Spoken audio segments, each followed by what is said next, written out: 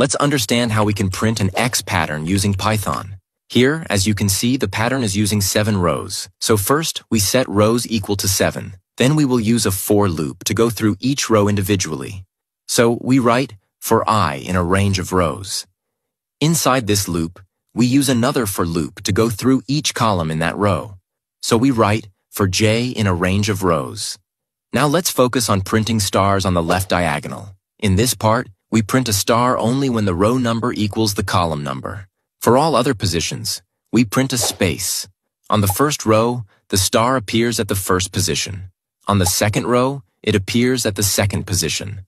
And it continues like that.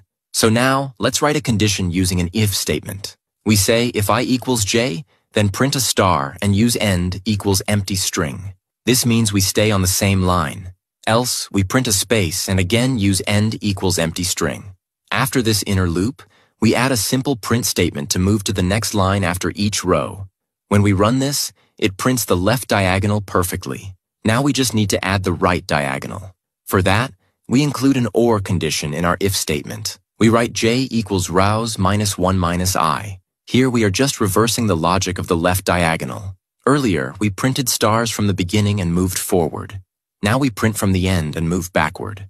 For example, on the first row, we calculate 7 minus 1 minus 0, which gives us 6. So after the first star, we leave 5 spaces and then print the next star. This pattern continues as we go down the rows, and when we run this, both diagonals form a complete X.